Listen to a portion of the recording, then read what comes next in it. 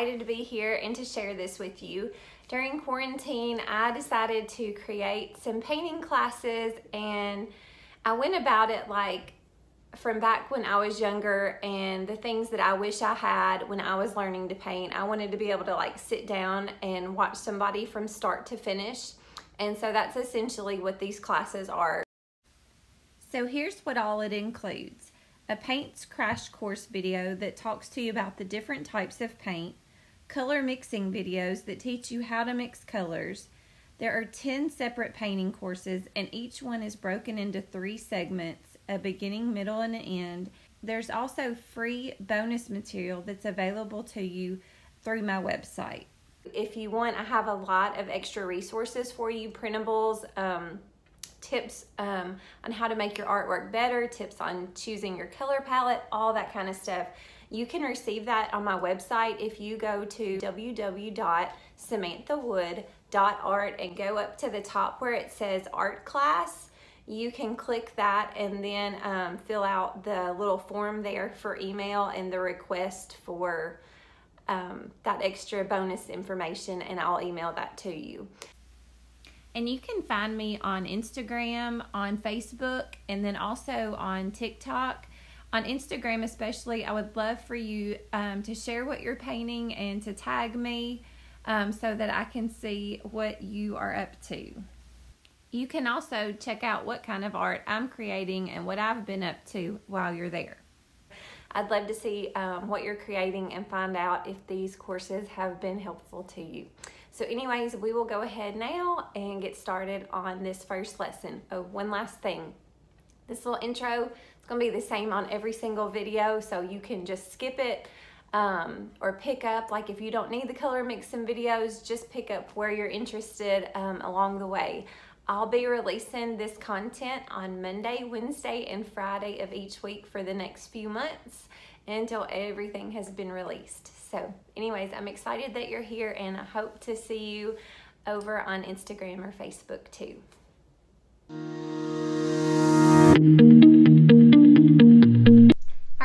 Get to add those fun, colorful sprinkles today. So this is going to be a fun, easy session. So let's get in there and wrap up those ice cream cones. Okay, so when it comes to working on those little fine details and finishing touches, you notice when you look closely at the ice cream that there are these little like um, lines in it or texture to it where like there's air between like the ice cream um, and they're not nearly as dark as the cookie pieces, but those areas are darker than where the ice cream is solid. So I've mixed um, kind of a, a darker shade than my shadows, just a little bit darker, and I'm going in and kind of adding those little specks here and there to create that texture of the ice cream.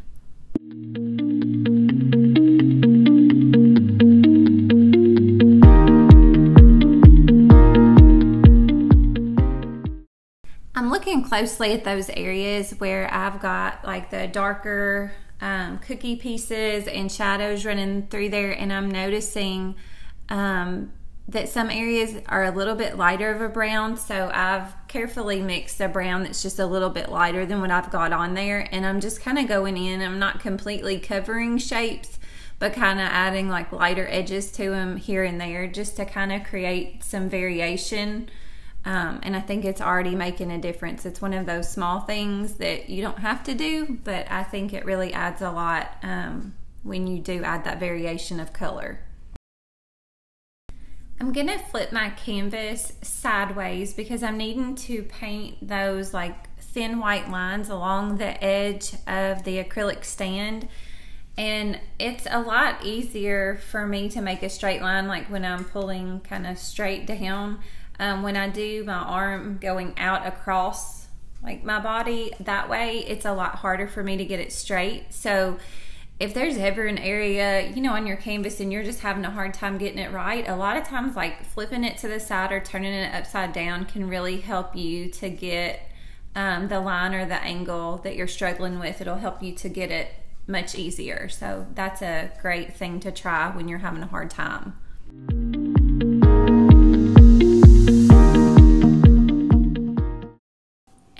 Just just like with the scoop of ice cream, how I kind of inspected it closer, I'm looking at that acrylic stand closer at those fine lines and details and looking at what I have on my canvas and going back and touching up or adding um, anything that needs to be added.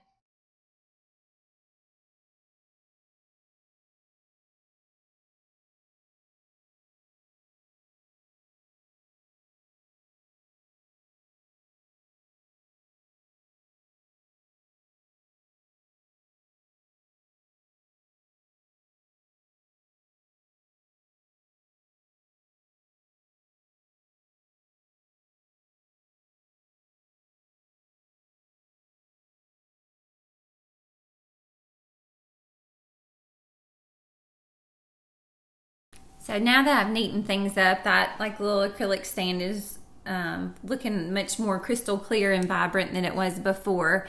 And I'm adding some little pink touches kind of here and there. There's the one at the end of the little ice cream stand, but then I'm adding some little pink touches around my ice cream cone too to just kind of use that warm tone to kind of pull your eyes up to the ice cream. Um, that's something I like to do in my work. Um, if you have areas that you feel like just kind of need a pop of color, try adding like a short little outline or um, shape there and just see how it affects your work. Be creative with it and, you know, try adding things that add interest to your work.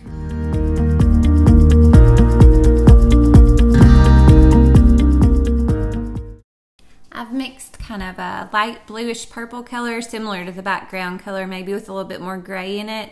And I'm just kind of adding, there's some like little highlights along the edge of the chocolate on the cone. So I'm kind of getting those in place and just really inspecting that um, picture closely. And now it is like that moment I have been waiting for. You get to add the sprinkles, which I think is like one of the most exciting parts. And so I will be trying to keep it as close to the picture as I can, but kind of adding in those sprinkles. And of course, it makes the most sense. Like why you've got the yellow paint on your brush, put your yellow sprinkles in place. And then when you have your orange on your brush, kind of work that way so that you don't have to wash out your brush as much. That'll be a big time saver. So I am going to go on and get all those sprinkles where they need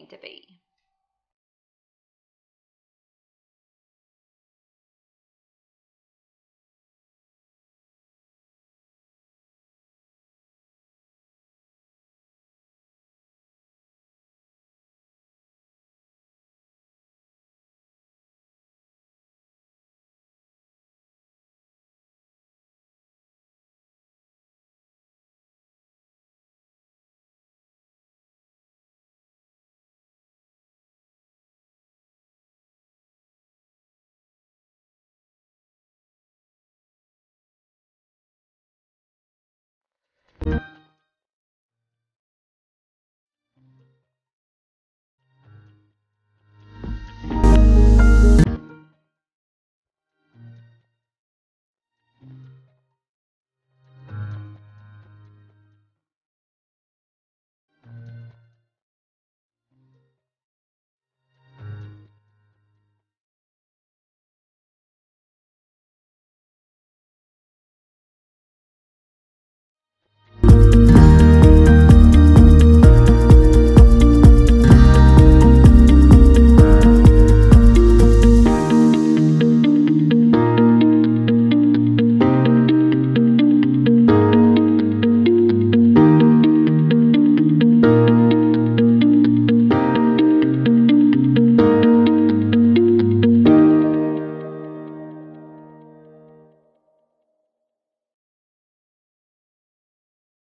Okay, so I got all the sprinkles in place. I love that pop of color in the middle of the canvas. It's just a lot of fun. And so now I am going to sign my initials and then it is complete.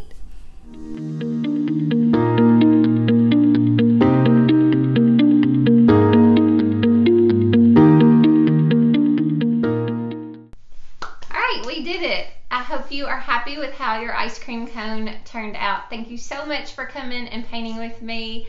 I have enjoyed doing this. I hope that you will come back and paint with me again. I would love to see what you created. If you would like to share it with me, you can tag me on social media or share it in the Facebook group, or of course, you can always email me. Thanks again for being here. See you guys later.